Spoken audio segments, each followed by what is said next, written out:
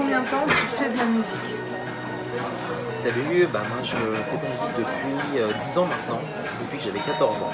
Voilà, j'ai commencé la guitare et puis euh, euh, après on a, on a découvert un peu, un peu plus de compétences dans plein d'autres trucs et voilà. Et d'où te vient ta, ta passion Alors, mes parents quand, j'étais gamin ils écoutaient euh, beaucoup de musique, donc déjà adoré ça.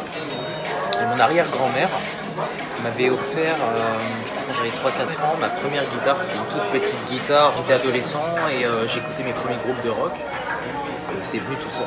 Et qui, enfin, quels étaient justement tes premiers groupes de rock? Metallica. C'est comme, comme je dis tout le temps quand on me on me pose la question, tu vas faire de la musique commerciale ou pas? Tu sais, le, le- le mot commercial, il a souvent tendance à être euh, mal perçu. Un jour, j'ai cet exemple où j'avais dit à des amis qui faisaient de la musique dans un, dans un petit groupe, tu sais que je peux écouter, euh, tu sais que je peux écouter ton truc, ta musique euh, que tu dis que c'est pas commercial. Ouais, bah, tu peux l'écouter partout, Spotify, Deezer. Tu la vends ta musique, bah ouais, bah, c'est commercial. Tu vois ce que je veux dire? Oui. Donc,